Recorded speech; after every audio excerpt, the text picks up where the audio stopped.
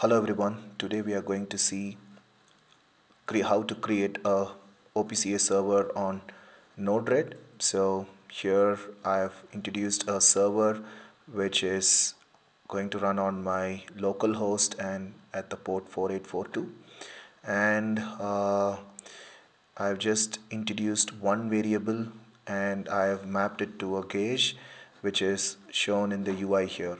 So let me uh, deploy it. Is just one variable and we will see how we can browse it through uh, OPC UA client. So let me deploy it. So once I deploy it you can see the Node-RED UI is refreshed and I'm going to connect to the Node-RED server that I've created.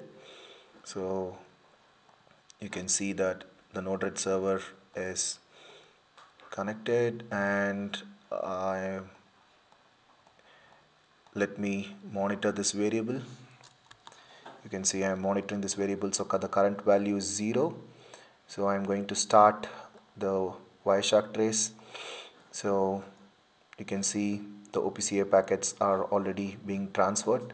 So whenever we are trying to monitor you can see the packets are coming up here. So I'm going to change the value to 5 and you can see the gauge values change to 5 here and then I'm going to change the value to 10 and you can see the value change to 10 so this is client server communication which uses TCP IP protocol to do it.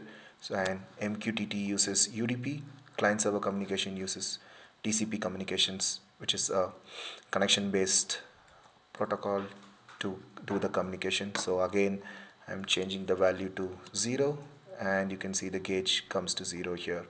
So stay tuned for a quick start guide to set up this server by our own which will be published soon. Thank you